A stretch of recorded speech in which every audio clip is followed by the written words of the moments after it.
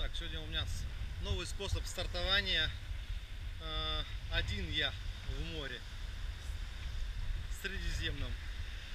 Блин, и батарейка садится. Короче, по американскому способу.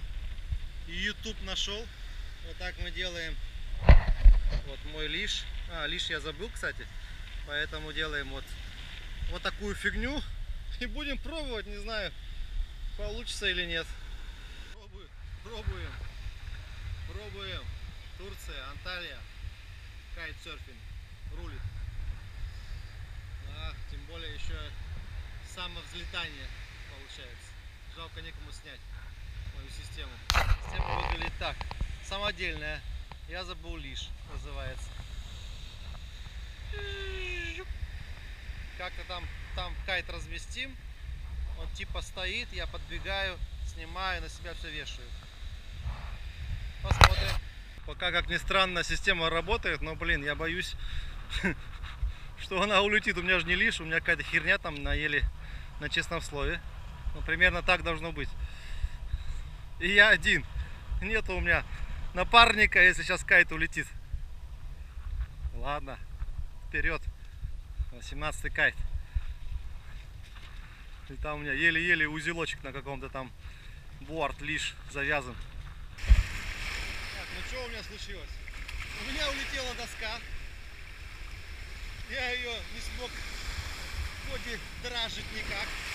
Но Она плавает, поэтому пришлось прикипнуть на берег. И жду, когда она приплывет. Наверное, я лучше ее прицеплю к себе. К моему, моей рулеточке.